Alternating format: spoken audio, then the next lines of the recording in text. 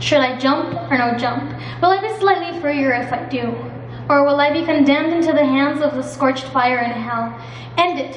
Pull the trigger! Voices singing inside of my head with a vague idea of how I feel. Loud footsteps of small problems following me, creating exasperation and tears that are invisible to the human eye, or those who do not care to see. Let go of the hand that held me to hold on to the hand that burnt me, hotter than the sun but colder than Pluto. My feelings come and go as if I was playing bingo in the universe, numbers and letters called out daily to tell my mood. Maybe one day I'll be at the top and fall. It's a deep, it's a steep mountain which I climbed. Forces and ideas that pull me closer to the ground.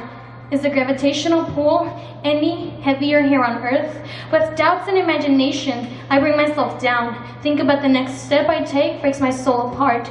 Condemned to walk with the heavy weights on my shoulders. Until you hold my hand. Will you hold it?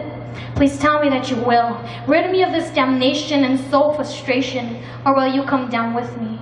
Burn easily, cut into your wings and fall deeply into me.